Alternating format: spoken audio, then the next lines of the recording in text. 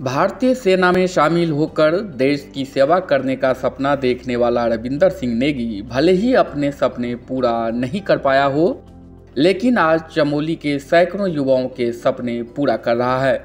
चमोली ज़िले के पापड़ियाना गाँव के रहने वाले 24 वर्षीय रविंद्र पहाड़ के हर युवा की तरह भारतीय सेना में भर्ती होकर देश की सेवा करना चाहते थे, लेकिन अपने प्रयासों में वह विफल रहे।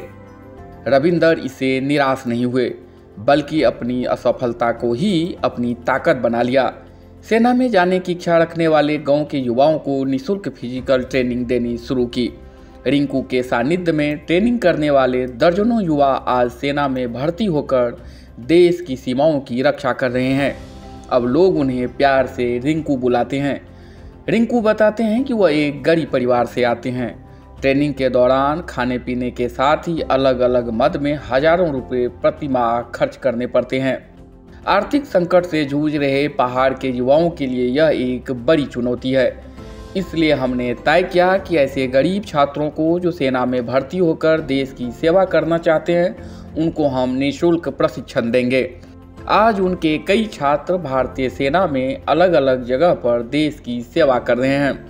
कई बच्चे अग्निवीर में भी भर्ती हो चुके हैं।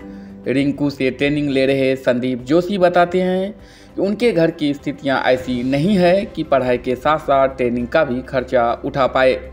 रिंकू सिंह ने निशुल्क ट्रेनिंग देकर उनकी इस समस्या का समाधान किया है।